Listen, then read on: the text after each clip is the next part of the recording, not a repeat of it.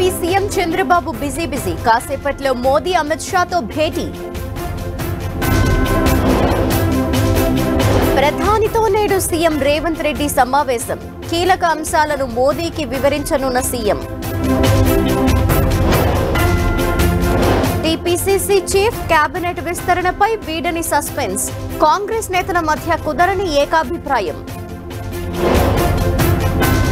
పోలవరంపై ముగిసిన నిపుణుల పరిశీలన. నేడు కేంద్ర జలవనరుల శాఖకు నివేదిక.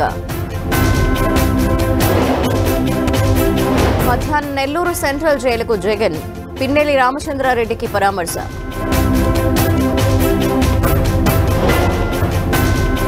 నేడు దేశవ్యాప్తంగా విద్యా సంస్థల బంద్. నీట్ పేపర్ లీకేజీకి వ్యతిరేకంగా నిరసన.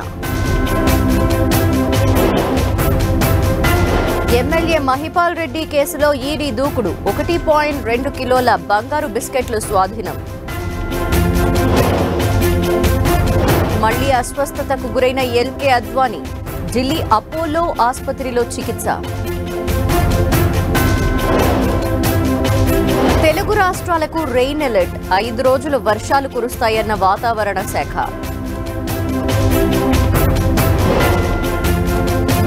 బ్రిటన్లో పోలింగ్కు అంతా రెడీ. ఓటేనున్న పద్దెనిమిది లక్షల మంది ఇండియన్స్.